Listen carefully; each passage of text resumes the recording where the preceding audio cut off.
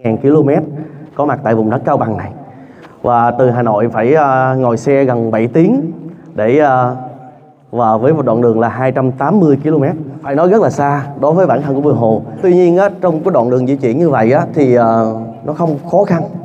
Nó không khó khăn bằng bằng cái quãng đường mà các bé phải đi từ nhà đến trường. Dạ cảm ơn cảm ơn Cảm ơn anh nhé. dạ.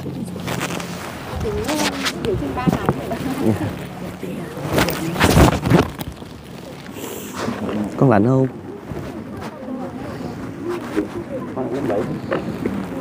Lớp mười đã con bảy lớp mười đã anh đang lớp bảy.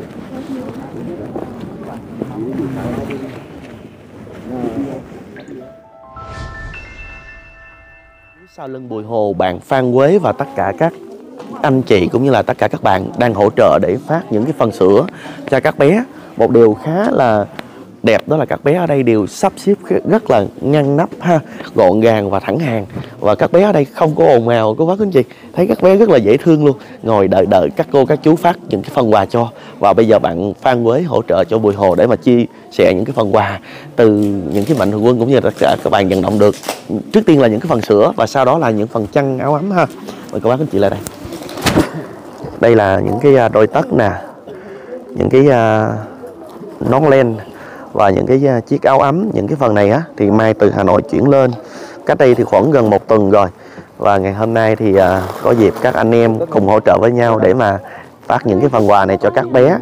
Cũng cảm ơn các anh rất là nhiều nha. Cũng cảm ơn bạn rất là nhiều. Cảm ơn anh đã hỗ trợ em cũng như là tí mình cứ phát tí sau là nếu mà ai thiếu mình cứ đặt thiếu Có áo đẹp thế.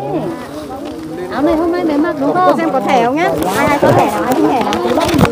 Tặng này. Anh xin cô nào. Cô cho thêm một cái nữa. Con học lớp mấy rồi? Lớp 1 áo tên là gì nào? À tên là gì à? Thế buổi nhà nhà cách trường xa không? Buổi sáng dậy từ mấy giờ để đi học nào? Đẹp trai đấy nhỉ? Cười lên cái xem nào. Cười lên cái xem nào. Ôi danh trứ rồi Danh trứ rồi. Ai nhổ danh cho đây? Anh anh nhổ danh? Con tự nhổ á? Giỏi thế. Chảy máu không? Chảy à? Khóc không? Mạnh mẽ nhở? Dê cái nào? Chạm tay cái nào? Ấm thế. Các bé dễ thương ghê. À, chắc nhờ bạn Phan Quế hỏi bạn này đi. Bạn này. Bạn này có trang phục rất là đẹp nè. Em tên là gì? Em tên là La, Lan à? Em học lớp mấy rồi? Lâm Nam, Học lớp 5 à? Nhà em cách trường xa không? Sa, Buổi sáng thì mấy giờ dậy đi học nhỉ? Ừ, Năm, 5 giờ dậy đi học rồi. Thế là bộ quần áo này hôm nay là có các cô các chú đến là mới mặc để đẹp đúng không? Còn bình thường là con để dịp nào mặc con nhỉ? Tết, À để Tết mới mặc, quá. Thế là kia cũng có một bạn giống con đúng không? Bạn lên đây, bạn lên đây, bạn lên đây, bạn ra đây, bạn đứng ra đây. Ờ, Wow, bộ quần áo của con rất là đẹp. Cái này ai may cho con hay là ờ, bố mẹ mua? Bố mẹ mua. Thế là hôm nay đến trường là con sẽ mặc bộ này. Thế những ngày lễ như, như là ngày 20 tháng 11 con có mặc không? Mặc. À thế à, rất là đẹp. Thế con còn, còn một cái mũ nữa là đúng không? Sao hôm nay không mang đi nhỉ? Cái mũ của bộ quần áo này ấy. Ở để để nhà. À, cái trang phục này là của dân tộc nào Con là người dân tộc gì con nói cho cô chú biết nào. con là dâu, dao, Dân tộc Giao đúng không? Ừ, con là người dân tộc Giao. Đây là bộ quần áo người dân tộc Giao rất là đẹp. luôn. đây một trang phục rất là đẹp ha nhìn dễ thương ghê á Rồi con về chỗ đi.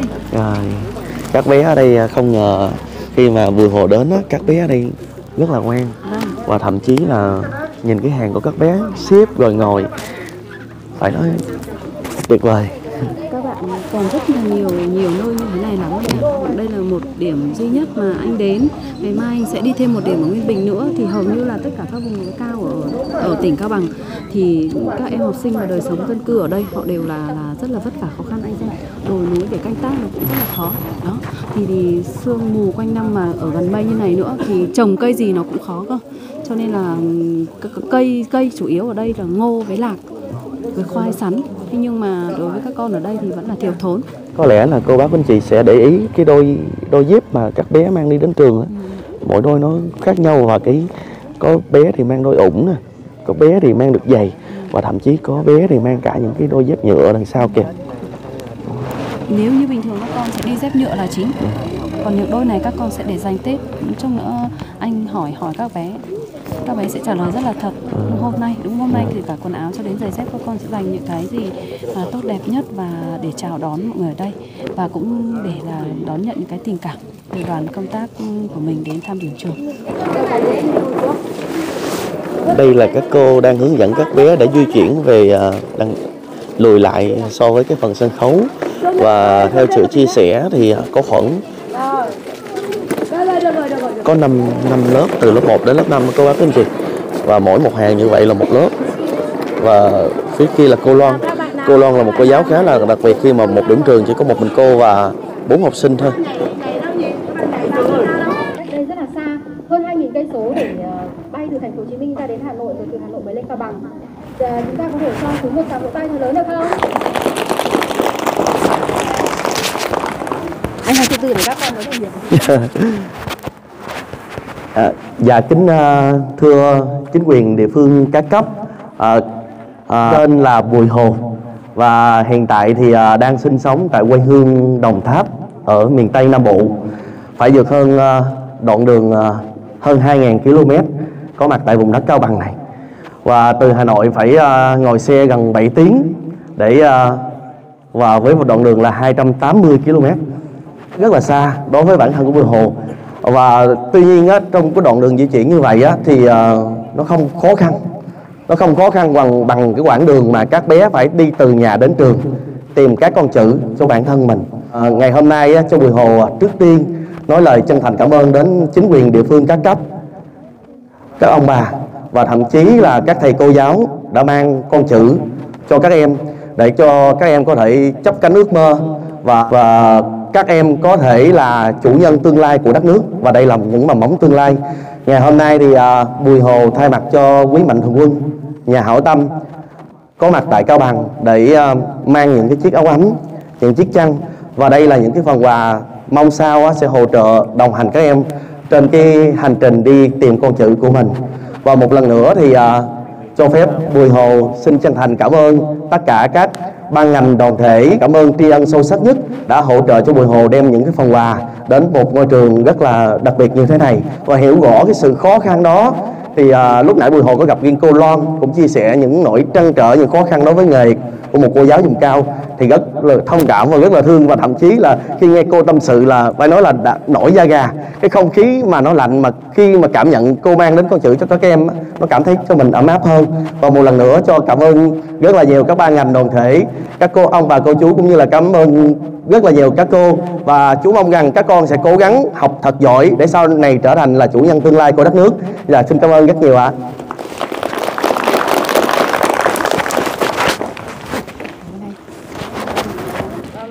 thưa quý vị đại biểu, trước khi chương trình, ờ, tôi xin trân trọng kính mời anh ờ, Bùi Hồ lên trao biểu trưng đất nước cho nhà trường. Đầu tiên sẽ lên ờ, nhận vinh hết. Lên nhận quà. Anh em không bấm. Anh em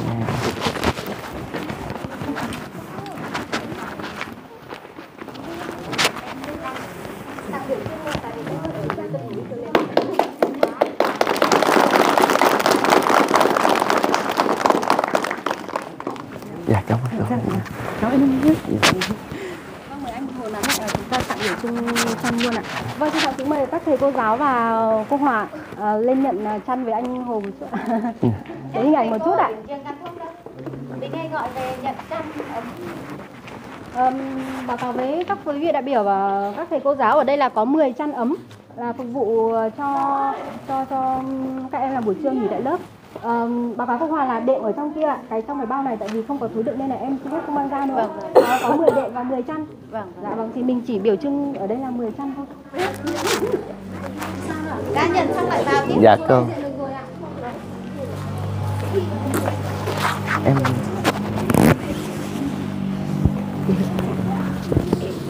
dạ. Biểu trưng 3 tháng rồi.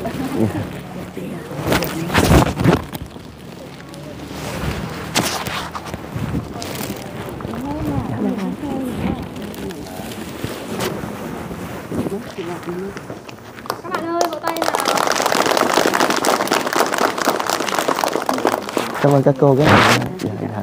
Cảm ơn các cô rất nhiều ạ. dạ. vì là phải sắp vai này Dạ. mũ, tất và một đôi dép. Sau đây trân trọng kính mời ờ, đồng chí Thiếu tá Lê Hoài Nam, Phó trưởng phòng công tác đảng và công tác chính trị công an tỉnh, anh Bùi Hồ ờ, và đồng chí Nông Hồng Sơn, bí thư chi đoàn sở khoa công nghệ. Chúng ta sẽ lên tặng quà cho các con. Cảm ơn. dạ vâng À, bạn học sinh lớp 1 chúng ta cho lớp nhé. Cô mời các bạn học sinh lớp 1 lên đây nhận quà để các bác các cô tặng quà cho chính mình nào.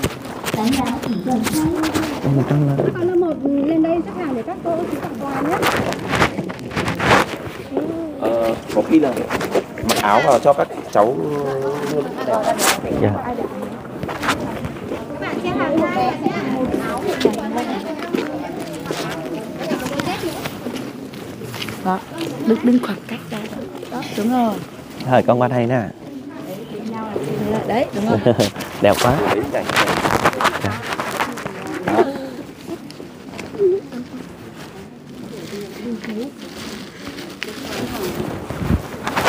con tất nữa nha. Có con nữa. Nè con mặc vô nè. Lên trước quả À, anh, anh mặc áo.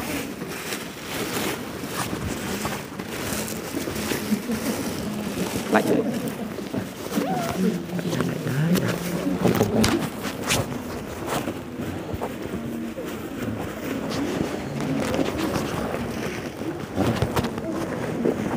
đẹp không? Ừ?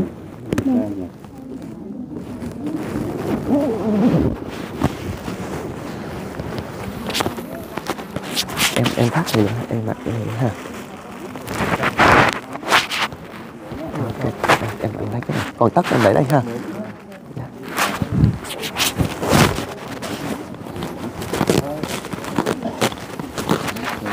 này con con này. Ấm lắm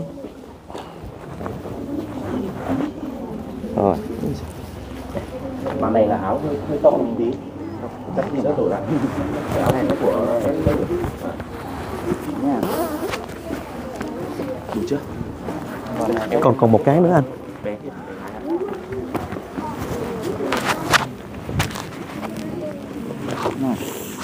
con lạnh không? Con lớp mấy? Lớp mười đấy con lớp mấy lớp mười đấy con đây lớp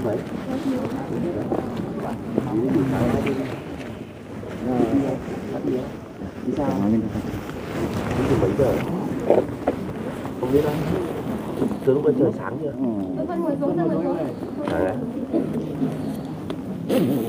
học học có giỏi không học có giỏi không à, chú sửa lại coi. Giỏi không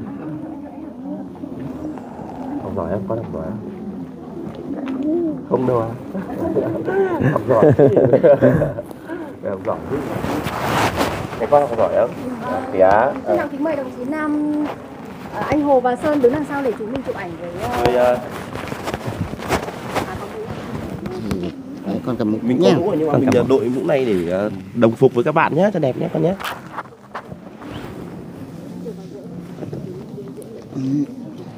Ok, đây, tất của con đây, con. Rồi, mời anh Hồ đứng giữa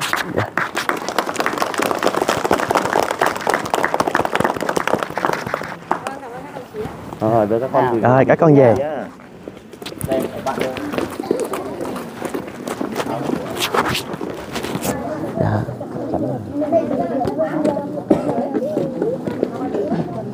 thật ra là cho được đưa được các cháu đến trường cũng là cả một cái rồi. dạ nếu mà không có chính sách của mình thì hỗ trợ rồi ờ, phí rồi các cháu đến là được hỗ trợ kinh phí các thứ.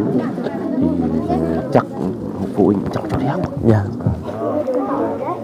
Bởi vì là các chính sách mà các bé được được các các chính sách của nhà nước thì các bé đều được hưởng cả. Dạ. Hàng năm thì đối với những hộ nghèo thì nhà nước cũng có quà Tết này quà Tết cho các hộ nghèo.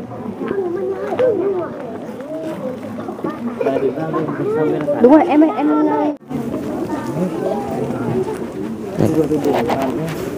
rồi đẹp quá.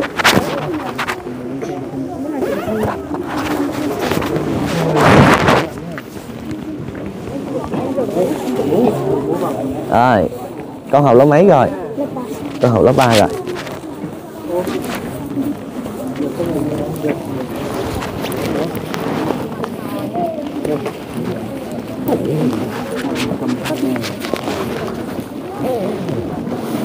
Rồi chú để- chú để tắt này vô túi được không? Hay là con cầm đi ha. À, chú để con để này vô đây đi ha. Để vô túi đây.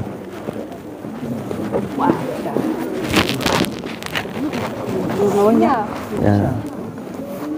Rồi bạn này có tắt chưa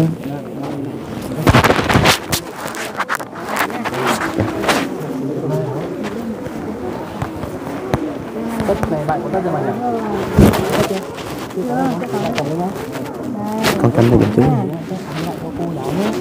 cái này mình để đi trong lớp thôi nhá không mang về đâu nhá. Đi trong lớp để cho đỡ lạnh chân đấy. Ủi tay lạnh thế. Làm nhỏ mà tay đỡ lạnh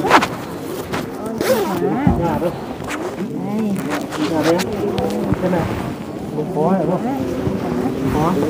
nè con đúng rồi đúng rồi đây cô tặng hai đôi tất một cái mũ này qua cho đỡ lạnh nhé à, này mũ đồng phục luôn này rồi con cầm này đi con cầm này cho chú ơi. Dép này là con mang ở trong lớp nha.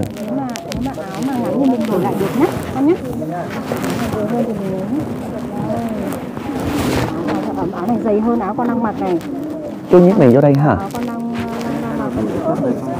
à cho nó cho Con trai đúng rồi, đúng rất màu hồng này Đây, đây. Đây con cầm nè. Mũ nữa này. Mũ đội đi học cho đỡ lạnh nhé rồi đẹp trai quá luôn kìa. Yêu xong rồi giáp rồi giáp rồi dép này chúng mình tí nữa lưu lại cho cô để đi trong lớp nhá. Chú chú để cái này vô đây ha. Anh chị mình đứng ra đằng sau các bé để chụp ảnh một kỷ niệm một kiểu kỷ niệm ạ. Ừ, có vừa vừa thôi không ăn đây đấy. chị đây đấy chị ấy vừa hâm mộ anh đó.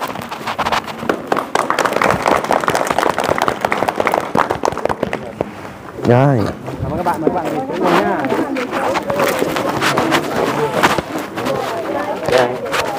phải nói là rất là ý nghĩa luôn ha. Rất là dễ thương luôn.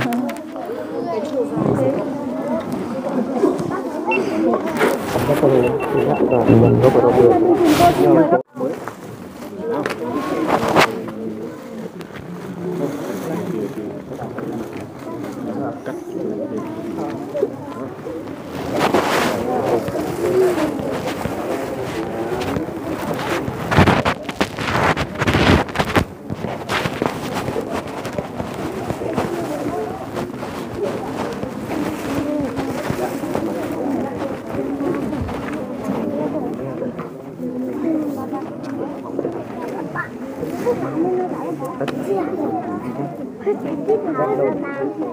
lông nhé lông cho em nhé đấy hai một cái xong tất áo ấy cái này này em đang lạnh không vội đấy đầu cả nhé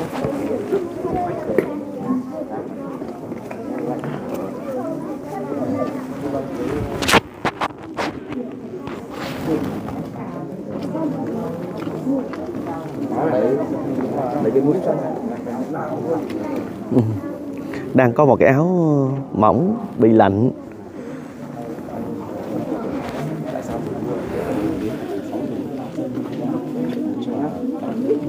để cho chú nội ngủ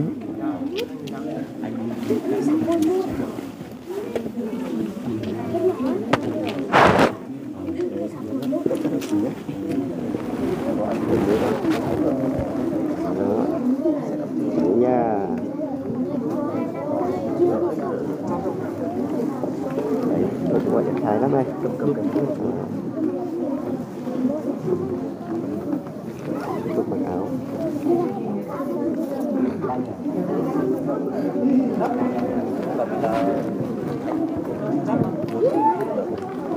cháu cầm mà dép vào tất sang bên này đây bên này chứ chú nha như bên đây mạnh À, đấy, đúng rồi.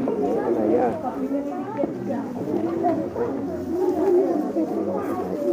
vừa hát nhảy bạn Được chưa? Đó, nha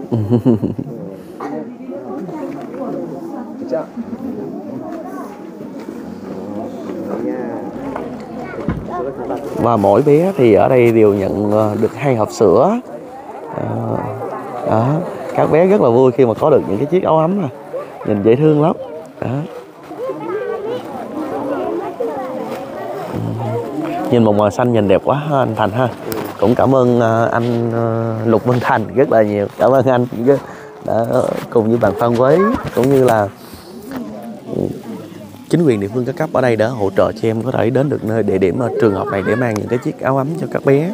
Thay một mặt ờ, quý mạnh thường quân cảm ơn anh rất là nhiều. Anh có muốn nói lời nào với lại tất cả các cô chú không? Xin chào khán giả trên kênh youtube của Bồi Hồ, Bồi Hồ TV thì Dạ. uh, thực ra mình rất là xúc động. Đấy đây là lần thứ ba mình được gặp Hồ ở trên à, Cao Bằng nó thì có thể nói là Hồ rất là nhiệt tình không à, quản ngại khó khăn đường xá xa xôi đến đây. Thì à, một lần nữa mình à, cảm ơn Hồ rất là nhiều và mong muốn tới đây sẽ tiếp tục được đồng hành cùng Hồ có thể ở Cao Bằng hoặc là một số tỉnh ở miền Bắc. Đó chúc Bồi Hồ nhiều sức khỏe và hẹn gặp lại những ngày sớm nhất. Dạ. Hồ nhé cảm ơn anh rất là nhiều cũng thay mặt cho quý mạnh thường quân cũng như là cô bác quý chị chúc anh cùng với gia đình luôn có một sức khỏe dồi dào và đặc biệt là năm mới nhiều thành công trong cuộc sống. Và anh Lục Văn Thành có một cái kênh YouTube rất là đặc trưng về uh, uh, tỉnh Cao Bằng nói riêng và miền Bắc nói chung. Đó là kênh YouTube Cao Bằng quê hương tôi. Thì cô bác quý anh chị có thể lên đó đăng ký kênh để theo theo dõi những cái uh, phong tục của dân tộc Giao hay là dân tộc Nùng hoặc là những cái dân tộc khác mà anh Thành đã chia sẻ trên cái kênh của mình. Cô bác quý anh chị có thể ủng hộ anh để hiểu thêm về một trong những cái nét đặc sắc của văn hóa của vùng cao ha. Cảm ơn anh rất là nhiều ha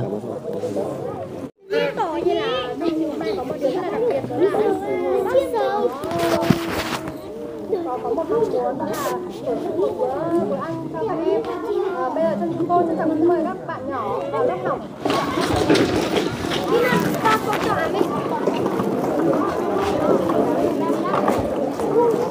các bé rất là ngoan. Khi mà xong cái buổi lễ á, thì à, các bé đều sắp đem cái ghế vào, ở trong lớp học một cách rất là ngay ngắn ha và bây giờ thì chắc có lẽ là bùi hồ cùng với lại các anh cũng như chính quyền địa phương à, từ cấp xã cho đến cấp tỉnh á, để mà chụp một cái tấm hình.